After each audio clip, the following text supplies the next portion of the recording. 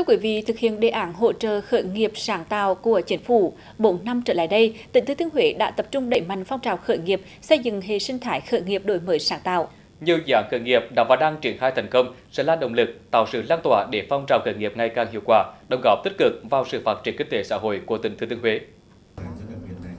Trên cơ sở đề án hỗ trợ hệ sinh thái khởi nghiệp đổi mới sáng tạo quốc gia đến năm 2025, Ủy ban nhân dân tỉnh Thừa Thiên Huế đã có nhiều chủ trương, giải pháp hoạt động để thúc đẩy phong trào khởi nghiệp trên địa bàn. Đến nay, phong trào khởi nghiệp đổi mới sáng tạo tại địa phương này đã được hình thành và phát triển khả mạnh, tạo nhiều dấu ấn tinh thần khởi nghiệp lan tỏa mạnh mẽ.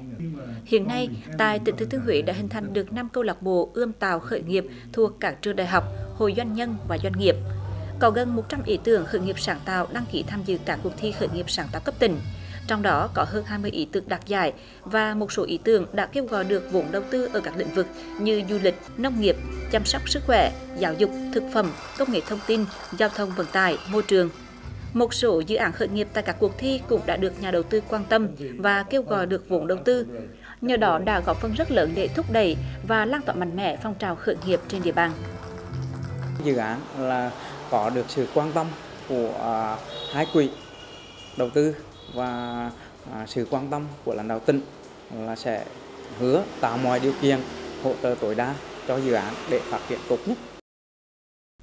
Theo kế hoạch thì trong giai đoạn 2017-2020, tỉnh sẽ hỗ trợ phát triển ít nhất 30 dự án khởi nghiệp đổi mới sáng tạo và hỗ trợ phát triển ít nhất 15 doanh nghiệp khởi nghiệp đổi mới sáng tạo ba doanh nghiệp gọi được vốn đầu tư mạo hiểm thực hiện mua bán và sáp nhập với tổng giá trị khoảng 3 tỷ đồng.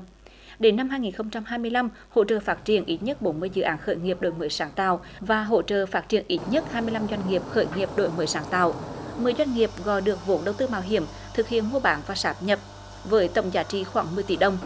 Hoạt động này đòi hỏi sự vào cuộc của rất nhiều bên liên quan. Do đó, mới đây, tỉnh đã thành lập quỹ đầu tư khởi nghiệp đây là cơ hội cho những doanh nghiệp khởi nghiệp, những người đi sau được hỗ trợ và có cơ hội học hỏi, tiếp thu kinh nghiệm của người đi trước. Việc xây dựng quỹ đầu tư khởi nghiệp sáng tạo tỉnh Thừa Thiên Huế là một bước tiến mới của tỉnh nhằm tiếp tục hỗ trợ cho các doanh nghiệp nhỏ và vừa khởi nghiệp sáng tạo tiếp cận được các nguồn vốn ban đầu để đưa những ý tưởng khởi nghiệp của mình thành công. Tỉnh cũng đã kết hợp với quỹ khởi nghiệp sáng tạo Việt Nam SVF ờ, cùng công ty đầu tư Ờ, vốn chuyên nghiệp ờ, để chúng ta sẽ thực hiện một cái mô hình quản lý vốn ờ, theo một cái hình thức chuyên nghiệp cũng như thẩm định một cách chuyên nghiệp để giúp cho các cái dự án sau khi đoạt giải của các cuộc thi khởi nghiệp hoặc những cái dự án có cái khả năng thương mại cao thì được tham gia tiếp cận vốn cũng như tiếp cận được những cái lực lượng chuyên gia, những người làm mentor từ các cái quỹ này thì giúp cho cái dự án có cái tính À, khả thi hơn khi đi vào thị trường. Sau khi à, Startup Việt Nam Foundation SVF ký kết hợp tác à, với lại Ủy ban dân tỉnh Thừa Thiên Huế, thì chúng tôi cam kết rằng sẽ tới đây để xây dựng những cái chương trình đi từ khâu truyền cảm hứng cho đến huấn luyện về khởi nghiệp, rồi thúc đẩy cho các bạn trẻ có những cái ý tưởng, rồi hành động xây dựng doanh nghiệp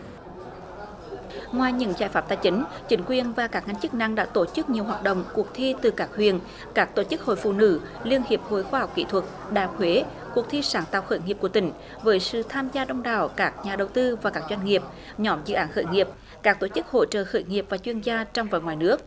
Thông qua các hội nghị, hội thảo, cuộc thi này để kết nối mạng lưới khởi nghiệp và hỗ trợ các ý tưởng, dự án, doanh nghiệp tham gia nhằm thúc đẩy hoạt động khởi nghiệp trên địa bàn có hiệu quả và bền vững hơn chuyên đề về cái nhà đầu tư này là họ có những cái ý kiến đóng góp cho à, các cái à, thành viên à, xây dựng các nhóm ý tưởng rồi các dự án là để phát triển hơn ừ, các cái ý tưởng dự án của mình nghĩa là họ chỉ ra được những cái điểm còn tồn tại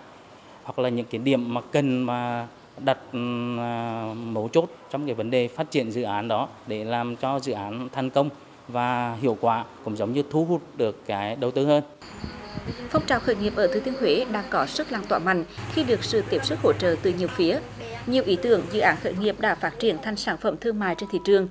Trong thời gian tới, tỉnh Thừa Thiên Huế sẽ tiếp tục thúc đẩy khởi nghiệp đổi mới sáng tạo, tạo lập môi trường thuận lợi để hỗ trợ quá trình hình thành và phát triển loại hình doanh nghiệp, góp phần tạo việc làm, tăng năng suất lao động, đóng góp vào quá trình thúc đẩy và nâng cao chất lượng tăng trưởng kinh tế của tỉnh.